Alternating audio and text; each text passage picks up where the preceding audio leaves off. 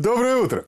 Если кто-то из друзей решил скинуться и послать к вам Деда Мороза со Снегурочкой, улыбайтесь. Актер ведь ни в чем не виноват, ну не раздражайтесь. И не говорите ему, что он уже шестой Дед Мороз сзади. Друзья ведь как лучше хотели. В новогоднюю ночь все может материализоваться. Поэтому внимательно проверяйте. Дед Мороз, уходя, захватил с собой Снегурочку? И вообще, внимательнее будьте в празднике. Внимательнее и к себе, и к людям. А в знак особого предпраздничного внимания – мы опять о новостях. И, как говорил Волк из замечательного мультфильма, работа у нас такая. Уральские пельмени. Едим по много и без лени. Тот самый вкус.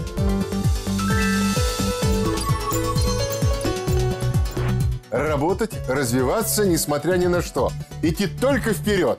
Такой большой малый бизнес.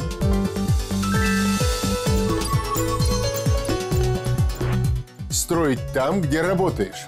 Компания «Лукойл» подписала соглашение о сотрудничестве с муниципальными образованиями на Новый год.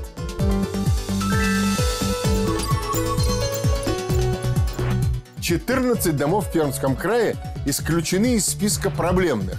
810 обманутых дольщиков обрели квартиры или получили денежную компенсацию.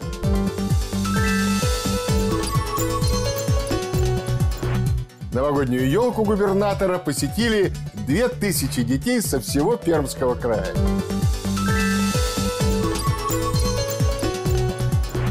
Бисер. Последний в этом году. О новогодних морозах, развлечениях и росте цен.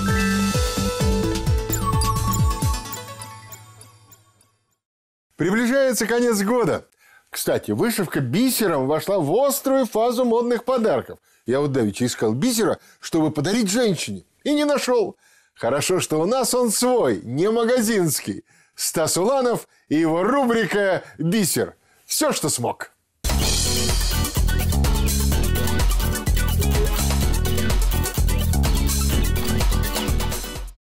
Доброе утро! За новогодние праздники, которые в 2015 году продлятся 11 дней, только промышленность потеряет порядка 10% выручки. В общей сложности в следующем году работающие россияне будут отдыхать 28 праздничных дней. 30 декабря в 18 часов на эспланаде будет открыт ледовый буквоград. Планируется, что он будет работать два месяца до конца февраля. На охрану ледового городка власти Перми планируют выделить чуть меньше трех миллионов рублей. Празднование Нового года на эспланаде пройдет в ночь с 31 на 1 с 23.30 до 4 утра. До этого же времени будет работать общественный транспорт. В новогоднюю ночь в главном ледовом городке Перми развлекать жителей и гостей города будут сразу несколько Дедов Морозов. Восточный, рокер, диджей. В полночь и два часа ночи пиротехническое шоу. Организаторы заявляют, программа полностью новая и повторяться не будет. Но кто именно выступит для пермяков, держат в тайне. Как сказал начальник Департамента культуры и молодежной политики администрации города Перми Вячеслав Торчинский, выступления понравятся всем. Уже традиционно в Ледовом городке будет работать резиденция Деда Мороза. Она откроется 2 января, ее работа продлится до 11 числа. Дети смогут прийти к главному сказочнику страны, чтобы прочитать стихи, да и просто пообщаться. Здесь же в празднике пройдет этап Кубка России по снежной и ледовой скульптуре. На мероприятие заявились участники сразу из шести стран, даже из экзотических Малайзии и Таиланда. Самые эпические премьеры в кино с 1 января «Исход цари и боги» о том, как море развести руками и сказка фэнтези, снятая в США Сергеем Бодровым, седьмой сын. А еще можно на каток сходить или на лыжах покататься. Праздники! На днях прочитал, в новогоднюю ночь в Перми может похолодать до минус 34 градусов. Возможно, конечно, все, но вот что по этому поводу думают дипломированные специалисты. Принципиальных изменений по сравнению с теми выходными, с выходными днями, э, вот, новогоднюю ночь э, температура не изменится. То есть она также будет э, около климатической нормы, то есть в районе минус 14 градусов среднесуточная температура.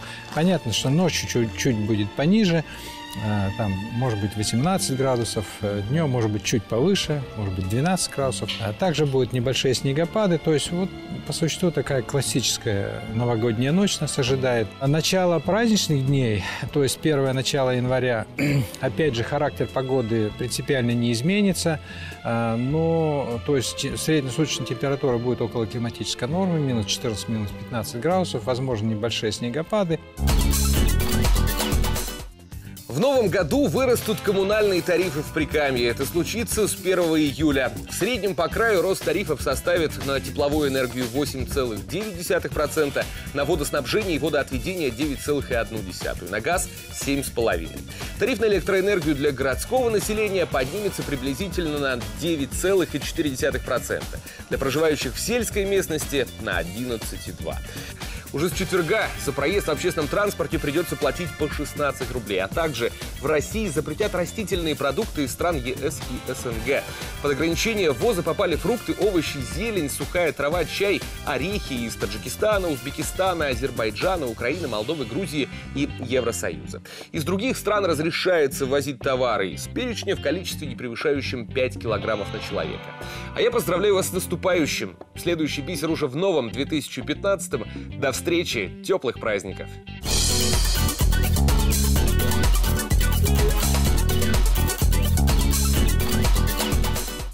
Вот если верить тому, что наши мысли материальны, то думать стоит только о хорошем, надеяться на лучшее и всегда помогать тем, кто нуждается в поддержке.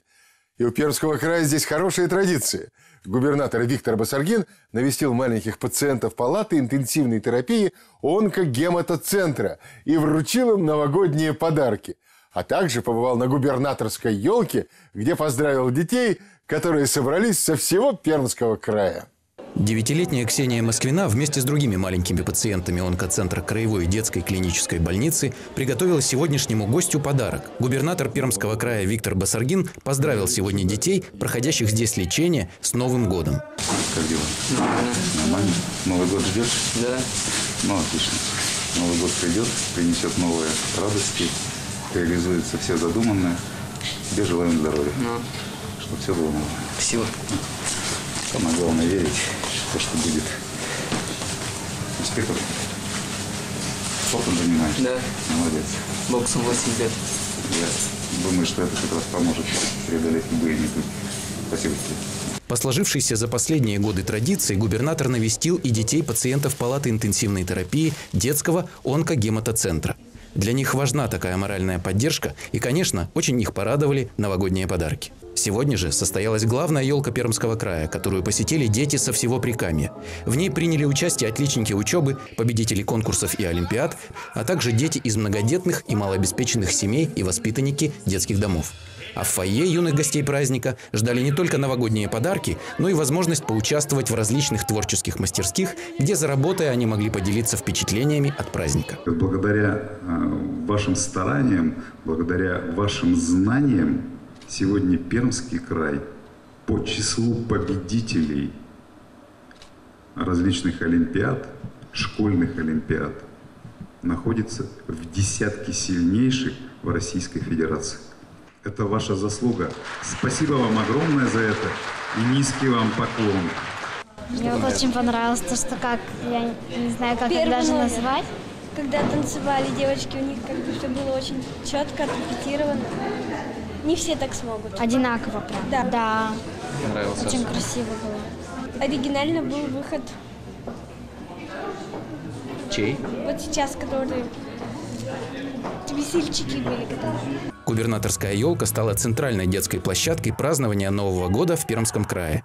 Тысячи детей, принявшие в ней участие, увезли домой море ярких впечатлений и разнообразные новогодние подарки. Александр Камский, Ярослав Алакин, телекомпания «Ветта».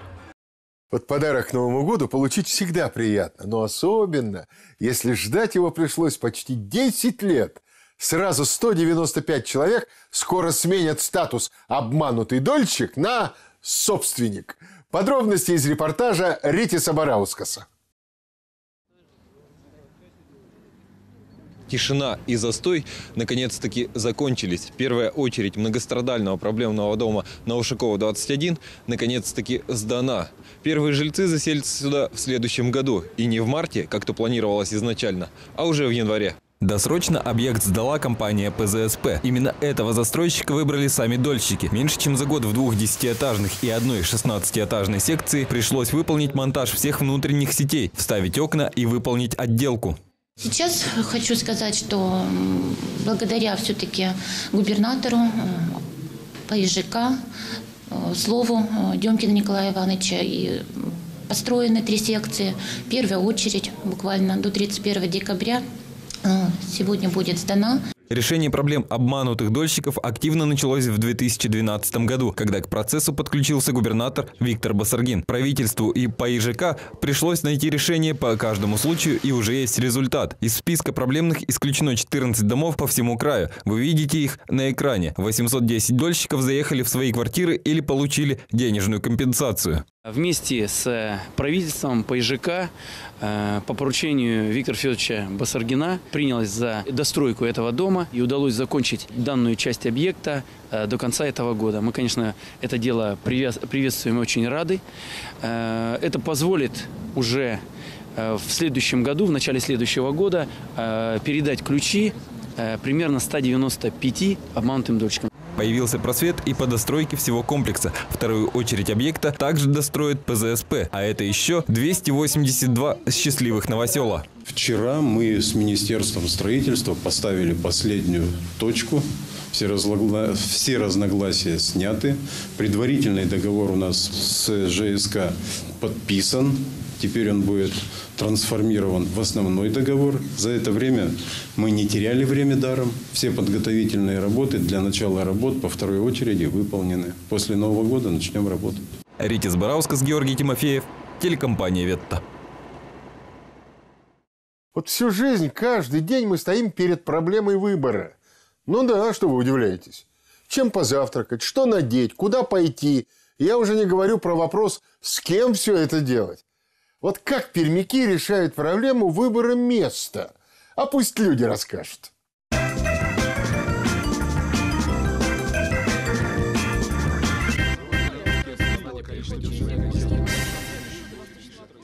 Партнер рубрики «Сеть магазинов головных уборов и аксессуаров» Лирей. Я думаю, то, что лучше Новый год отмечать дома с родителями, поскольку это семейный праздник. Дома, в семье, это домашний праздник. Без разницы, где дома, в гостях, лишь бы с семьей, с близкими, с родными. Я думаю, что дома, в семейном кругу, потому что я считаю, что это семейный праздник.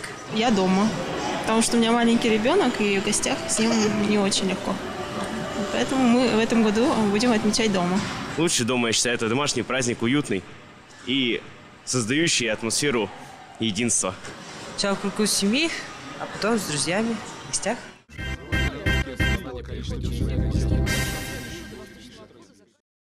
Вот как говаривала моя матушка, поглощение пищи без радости превращается в скучнейшее занятие. Так вот, друзья, решая, как вы будете встречать Новый год, обязательно уделите внимание праздничному столу. На нем должны быть в изобилии овощи и фрукты. И используйте как можно больше зелени, петрушки, салата, укропа. Ведь грядет год овцы как-никак. О том, без чего я лично не представляю тот самый вкус Нового года, смотрите прямо сейчас. Муа!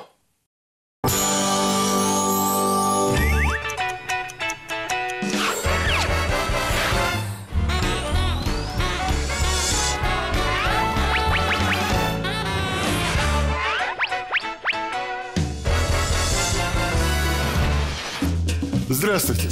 Тот самый вкус в эфире. Сегодня какое? 29 декабря. Значит, самое время лепить пельмени.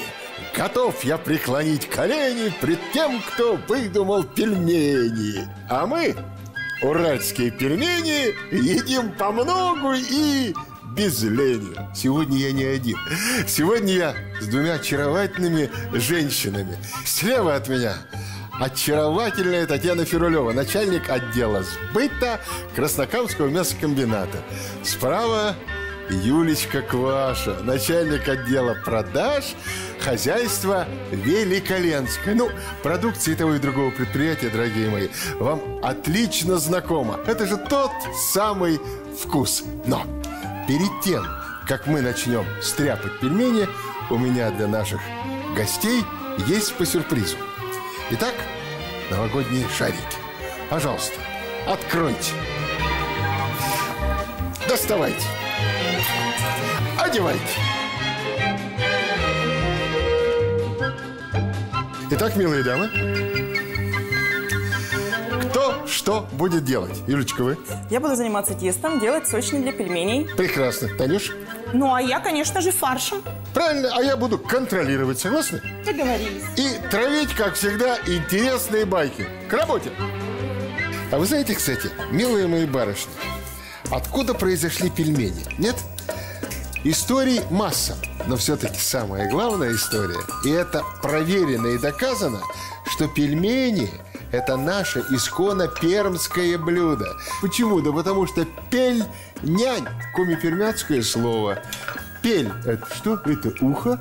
Нянь – это что? Это хлеб. Хлебное ухо. О, слушайте, вы так быстро все делаете. Очень правильно, Танечка, что добавляете именно молочко великоленское. Почему? Да потому что натуральное, цельное, в бутылочке. Уже пора стряпать, по-моему, да? Конечно, пора. Давайте начинаем.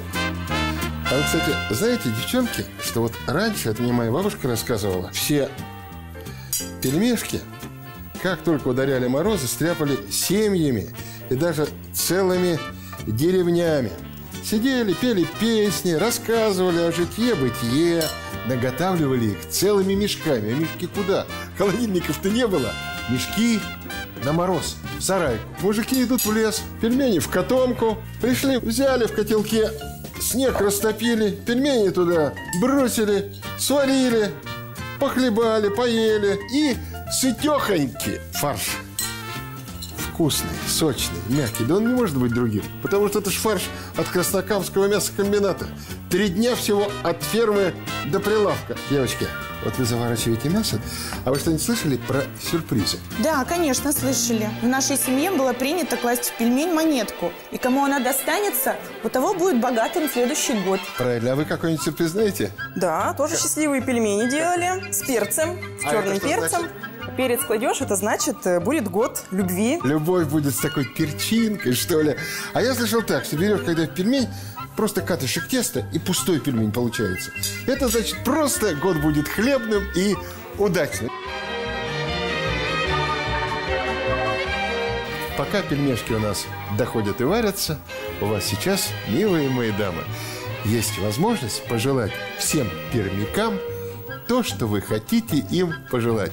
Дорогие и уважаемые жители Пермского края, от лица Краснокамского мясокомбината мы поздравляем вас с наступающим 2015 годом. Желаем вам отменного здоровья, успехов, удачи, большой любви. И пусть у вас на столе всегда присутствует продукция нашего Краснокамского мясокомбината. От производителя Великоленского я поздравляю всех наших потребителей с наступающим новым 2015 годом. Желаю всем счастья, здоровья, удачи, любви. А Самое главное – здоровья от натуральной продукции. Как говорится, чтобы быть здоровым, нужно пить натуральное молоко от коровы.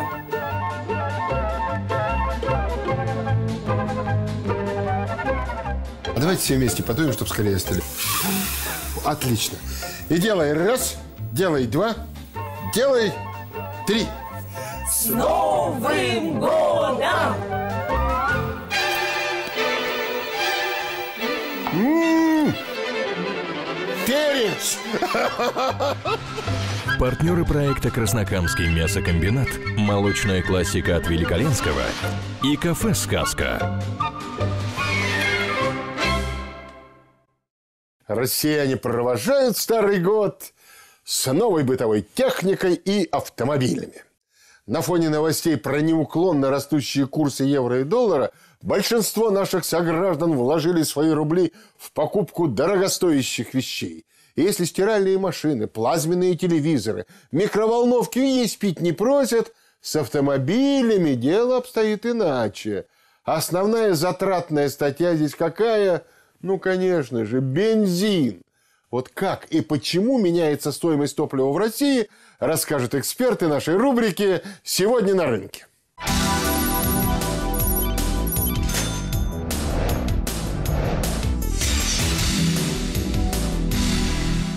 Партнер рубрики «Сегодня на рынке» – Телетрейд Урал.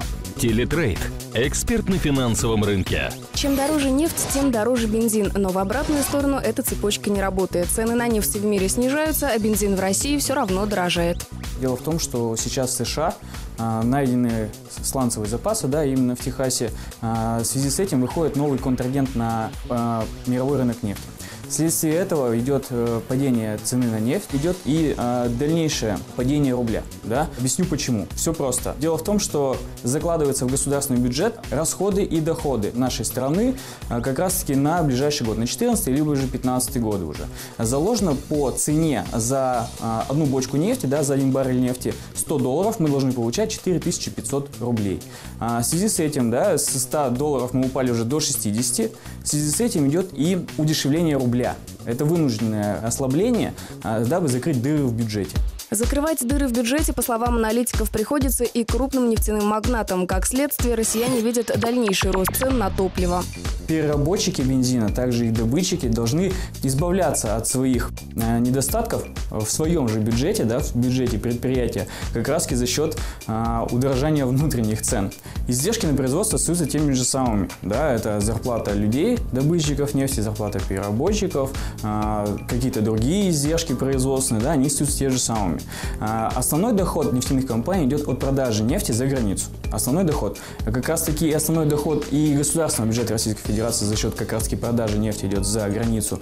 Плюсом ко всему, а, чтобы а, как раз таки минимизировать свои расходы да, и стабилизировать свой бюджет внутри уже предприятия, да, таких э, крупнейших корпораций, как Роснефть, Лукойл, там, Башнефть и так далее.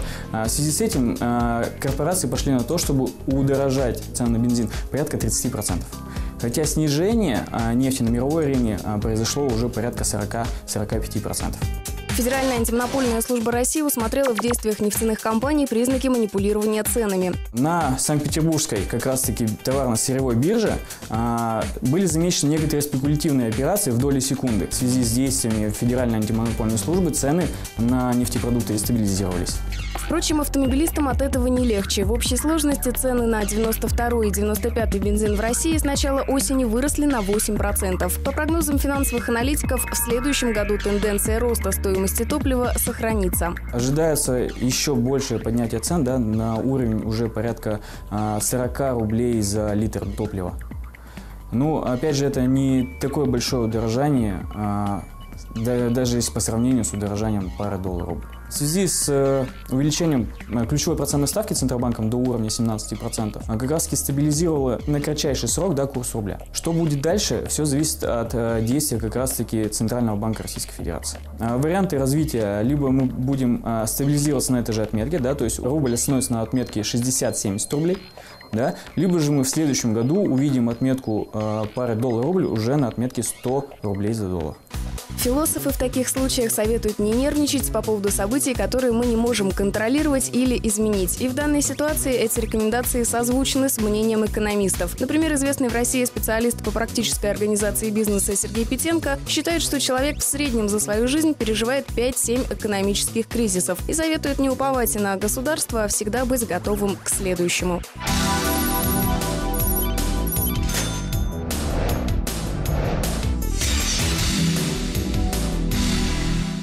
Вот все-таки в Госдуме сидят люди широкой души. Ну, а чего мелочиться? Целый день в подарок. Вот это я понимаю. Это по-нашенски. Можно было бы, конечно, зарплаты подбросить. Ну, день так день. Ну и кроме этого есть еще новости. И именно о них наш пресс-парад.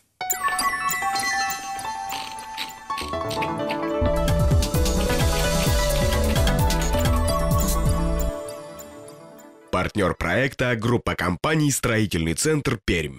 Судьям повысили оклады на треть. Подписано распоряжение, предусматривающее повышение ежемесячного денежного поощрения судей на 30%, пишет «Комсомольская правда». Документ был опубликован на сайте Кабинета министров. Повышать зарплаты судьям будут постепенно в течение ближайших трех лет. Как говорится, в документе принятое решение направлено на реализацию указа президента о совершенствовании системы госуправления. По мнению экспертов, повышение зарплат судей – правильное решение. Но чтобы правосудие в России стало более независимым, нужно также предоставлять судьям гарантии сохранения их уровня жизни после прекращения полномочий, сообщает корреспондент издания Елена Кривякина.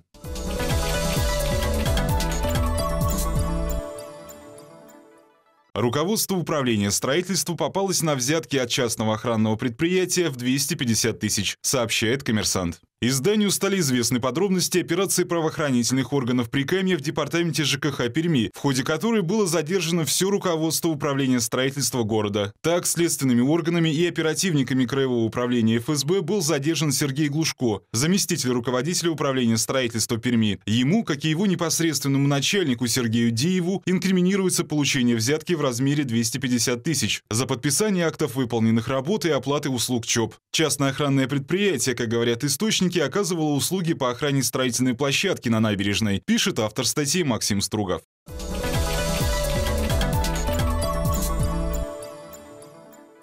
Рособорнадзор запретил двум пермским филиалам московских вузов принимать абитуриентов. Один из них все же готов набрать первокурсников. Читаем в электронной версии еженедельника «Новый компаньон». Как сообщает Федеральная служба по надзору в сфере образования и науки, в декабре был утвержден запрет на прием абитуриентов в 12 вузов страны. Причина связана с неисполнением предписаний, выданных по итогам проведенных проверок. Из опубликованного списка в Перми есть филиал МСИ, а также представительство Института психотерапии и клинической психологии. В филиале МСИ корреспонденту издания Максиму Артамонову сообщили, что не знают о запрете федерального ведомства и планируют начать прием абитуриентов в январе.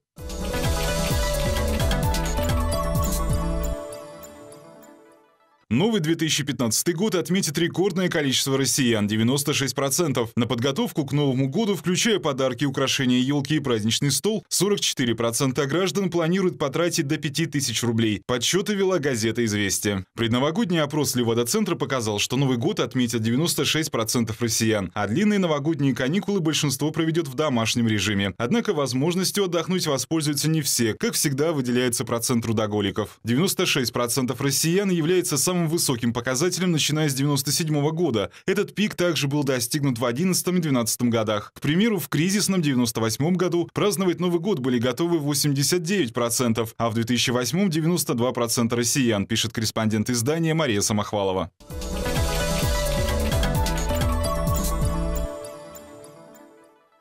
Экономика, в которой не бывает банкротств, наверняка обанкротится. Вот так говорят финансисты. И они же подчеркивают, что порою банкротство – хороший бизнес. Я бы добавил, особенно в России. У нас, если банкрот, то как можно более крупный. В связи с этим я хочу загадать желание. Пусть в новом году банкротств не будет вовсе. Их отсутствие – признак того, что красть уже, в принципе, ну, по-моему, больше нечего. Когда градообразующее предприятие становится банкротом, то массовые увольнения сотрудников – неизбежность.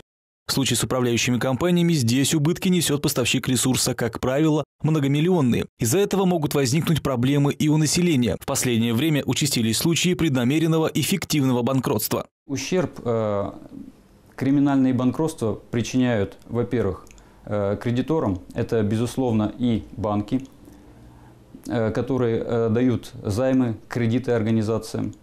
Э, безусловно, ущерб причиняется и поставщикам, то есть кто-то предоставил товар в связи с банкротством, безусловно, ему встречное возмещение не передается. Конечно, страдают простые граждане. В результате банкротства они могут лишиться зарплаты, выходного пособия. В стороне не остается и государство, поскольку организации-должники не платят налоги. Если обратиться к статистике, то в среднем предприятие банкрот погашает не более 5,5% от суммы долга. Столь большая доля невозврата, как правило, носит криминальный характер. Руководители организации должника э, придумывают достаточно сложные схемы по выводу активов.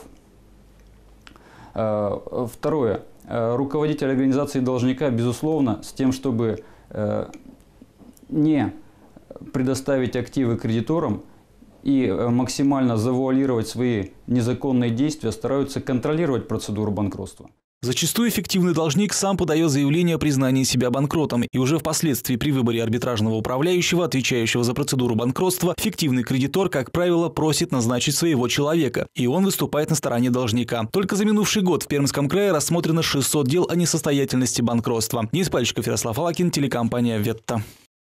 С нетерпением жду нашу рубрику «Правила денег» от Надечки Емельяновой. Ну, во-первых, деньги – это всегда актуально. Во-вторых, мне теперь понятно, почему один из банков в своих смс-ках начал сообщать о сокращении лимитов по кредитным картам. Кризис. Я сразу вспомнил 90-е. Тогда знаете, какая шутка ходила? Все средства хороши, кроме безналичных.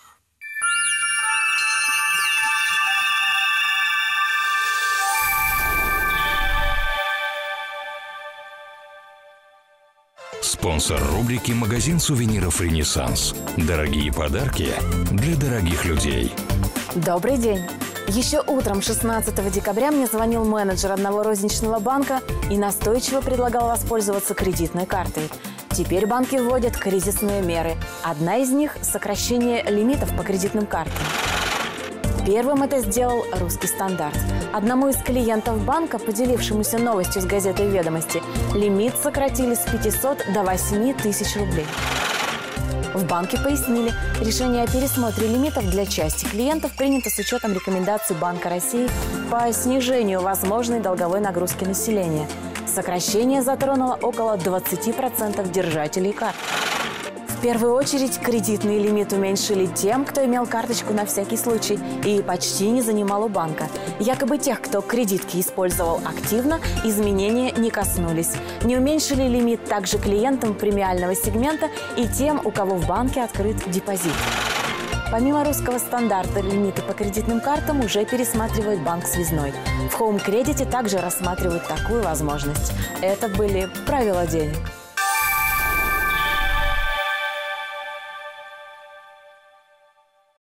Вот я всегда говорю тем, кто помоложе.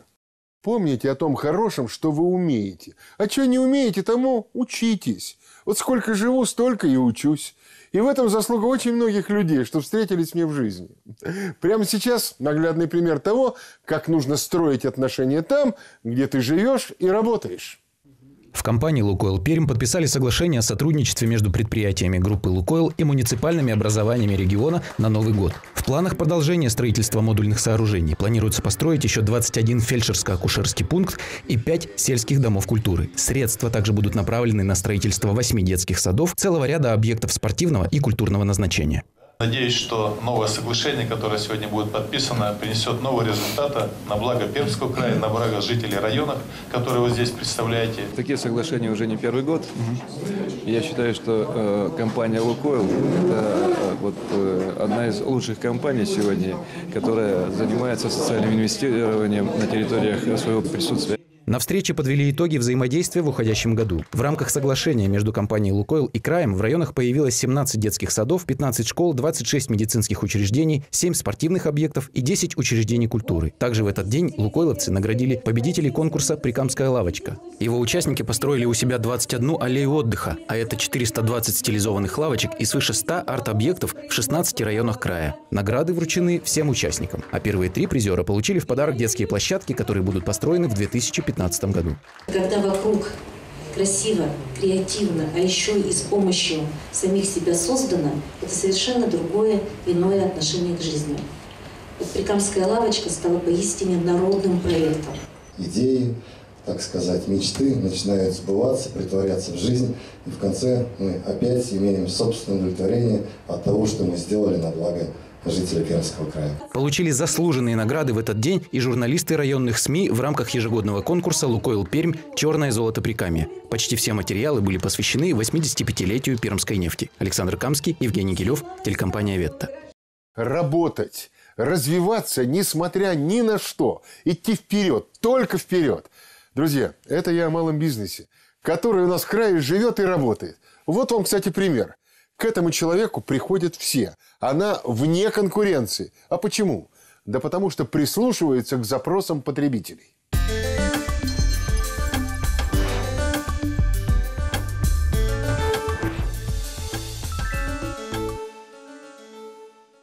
Здравствуйте, это рубрика «Такой большой малый бизнес». Мы продолжаем рассказывать об успешных предпринимателях Пермского края. Сегодня необычный выпуск. Нас пригласили на фотосессию в Колтаево. Дело в том, что герой очередной рубрики – фотограф и владелец фотосалона Юлия Ярыгина. Юлия, я нормально стою? Вася, я снимаю. Хорошо.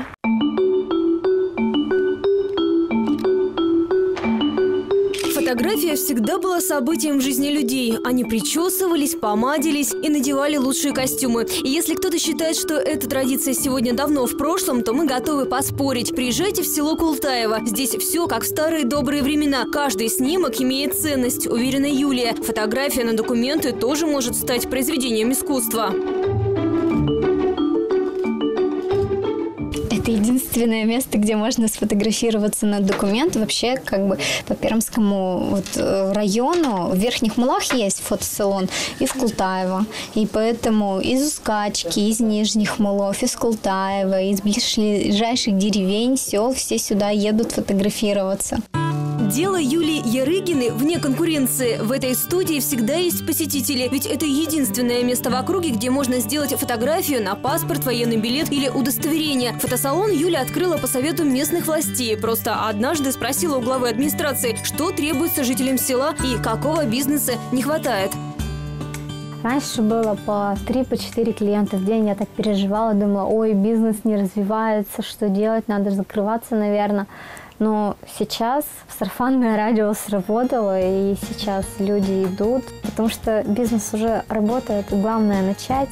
Колесо закрутить, а дальше оно уже крутиться будет само. И кризис нам не страшен.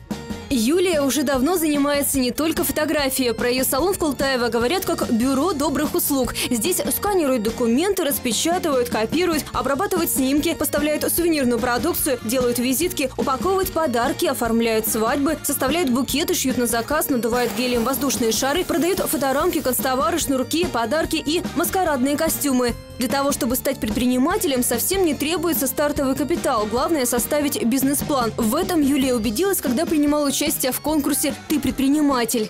Конечно, я хотела получить главный приз, но больше всего я получила опыт, новое знакомство, общение с людьми, э, общение с преподавателями, которые дали новые идеи для развития бизнеса. Мы прямо сидели, записывали все внимательно. А, что-то уже я внедрила в свой бизнес. Если еще будут такие программы, я хочу в них участвовать. Даже в день своей свадьбы наша героиня не расстается с фотоаппаратом. Невеста сделала пару снимков на память. Все-таки она профессиональный фотограф. Бизнес помог и в личном счастье. Благодаря работе в салоне у Юли появилось много знакомых среди поставщиков цветов и свадебных украшений. Молодожены сами оформили зал для торжества. Кстати, ее муж тоже предприниматель. Самая большая мечта для меня, для моего бизнеса, это, конечно же, расширение и а, приобретение собственного помещения, потому что у нас сфер много, услуг много, и я бы хотела эти сферы расширить по отдельности. Маме, допустим, свой швейный салон сделать, себе отдельный фотосалон сделать, а, сделать отдельно цветочный магазин. То есть все сферы, которые сейчас представлены, ну, такие как маленькие отдельные ниши, они бы существовали как отдельный бизнес и приносили мне радость, радость людям.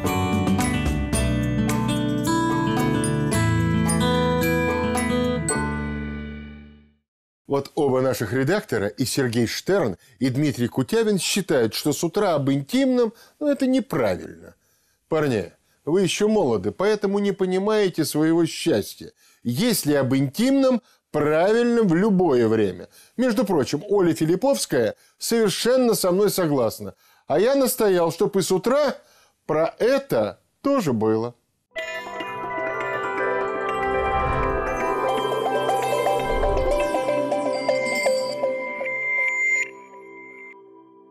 Прекрасные букеты и подарки от Vega Flowers Gallery. Рада встрече. Вы заметили? Мужчины всегда ждут от нас именно в Новый год чего-то особенного. Мы готовы поддерживать это ожидание. Если бы мы только знали, чего особенного-то может быть. Подумайте сами. Вы живете вместе 15 лет. У вас двое детей. Мальчик уверен, что папа волшебник, а девочка уверена, что мама успешно папу учит. Оба ребенка давно понимают, что Дед Мороз под елочку не кладет ничего, а складывает туда мама или папа, в худшем случае бабушка или дедушка. Потому что все западные фильмы учат нас, что это мы должны складывать под елочку бабушке и дедушке разные подарки. Кому пояс из собачьей шерсти, кому браслет от давления, что называется, по вкусу и по кошельку. Вернемся к тому, с чего мы начали. О мужчинах. Мне почему-то кажется, что наряд Снегурочки в спальне не очень будет их радовать.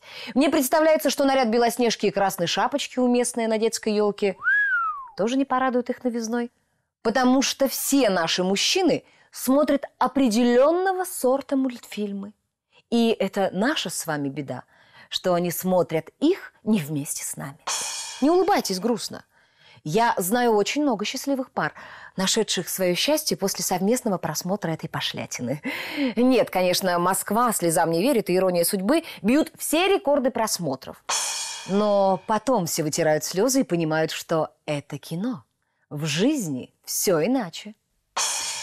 Я надеюсь, за 15 лет совместной жизни вы уже понимаете, какая сказочная героиня больше всего привлекает вашего спутника жизни. Я верю, что вы вошли в этот образ и ни в коем случае не выйдете из него вплоть до 1 января. Курс доллара или евро не может помешать вашим отношениям ни в коем случае, потому что это уже случилось. А ведь мы с вами говорим о настоящем чувстве. И потом, вы знаете, я взрослая девочка, но в чудо я верю по-прежнему. И вам советую. С вами была я, Ольга Филипповская, и программа «Утро».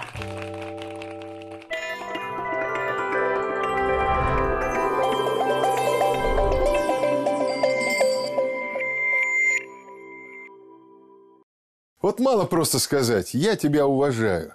Поступок, достойный того, чтобы человек, включив телевизор и увидев нашего гостя дорогого, сказал «вот этот мужик, вот это я понимаю». Встать в 6 утра, чтобы поздравить меня, всех, с наступающим Новым годом. Сегодня у нас в гостях депутат Законодательного собрания Пермского края Алексей Бурнашов. Алексей, здравствуйте. Здравствуйте. Вопрос очень простой. За что вы любите Новый год? Ну, Скажу откровенно, я люблю Новый год, потому что как минимум три дня – это радость и ожидания, или ожидание радости. Вы, наверное, думаете, что взрослые не верят в чудеса, а мы верим. И даже возможность немножко побыть волшебником для своих детей, близких, дает такой мощный заряд добра, что хочется верить, что любовь, искренность, улыбки будут частыми гостями в нашем доме. Я люблю этот праздник, потому что он яркий, добрый, щедрый – это праздник, который мы все, безусловно, ждем целый год. Замечательно. Вот вы говорили о сюрпризах, о волшебстве и о чуде.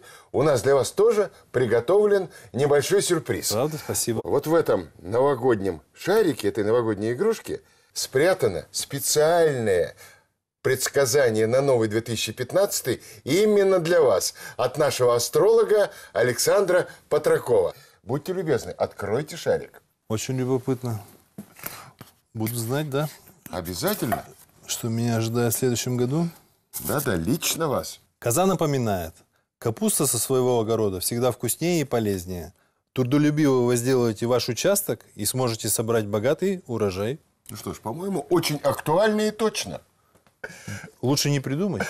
Итак, Алексей, я от своего имени и, конечно, от всей нашей телекомпании «Ветта» поздравляю вас с новым 2015 годом, Большое наступающим. Спасибо. И я надеюсь, что все у нас будет хорошо. Это взаимно, и я уверен, что будет еще и лучше. С Новым годом! Вот с Новым годом!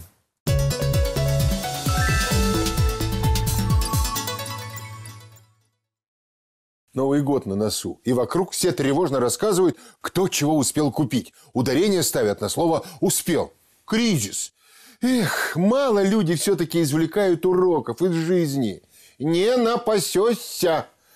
Любовь в трехлитровую банку не закатаешь, чтобы открыть в трудное время и чтобы всем досталось. Друзей тоже не насолить на всю жизнь.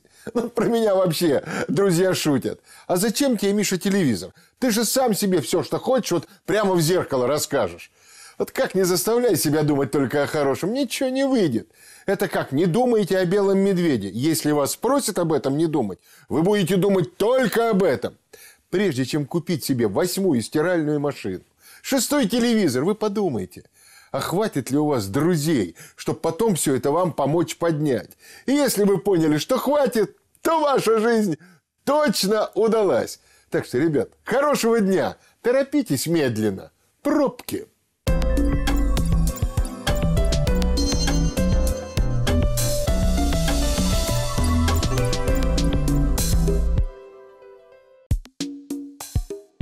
По прогнозам синоптиков, в понедельник, 29 декабря, в Перми ожидается облачная погода, небольшой снег, ветер юго-восточный до 3 метров в секунду. Атмосферное давление в пределах нормы. Температура воздуха минус 10, минус 13 градусов.